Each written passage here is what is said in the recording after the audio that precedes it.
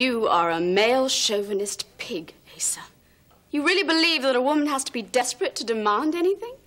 Gabrielle Holden has been described as conniving, vicious, nasty, and untrusting.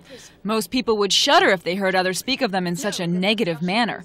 But actress Fiona Hutchinson, who plays Gabrielle on the ABC soap opera One Life to Live, couldn't be happier with her on camera persona.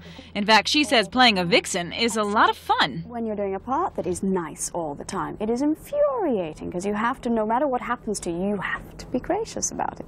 So it's a lot more fun being a bitch because it's much more realistic. You don't know why? Because you always think the worst of me, always. When hearing Hutchinson's English accent, you'd assume she was born in England. But actually, while her English parents were on a cruise bound for Jamaica, she arrived in the world a little early and was born here in Miami, where she eventually came back and lived for some time. Now married and living in New York, the 29 year old actress has become one of the most popular daytime TV villainesses.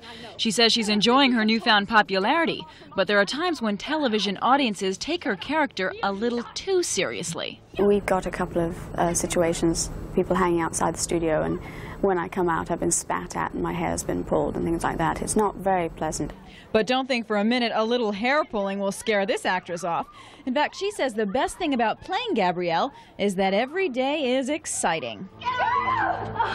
My terror is to be boring. I, I cannot bear the thought of being boring. It's not every day that you get to kiss handsome men and do love scenes and get paid for it. It's rather nice. So, at least for Fiona Hutchinson, being a bad girl has produced some rather good things. In Miami, Lisa Petrillo, Channel 10 Eyewitness News.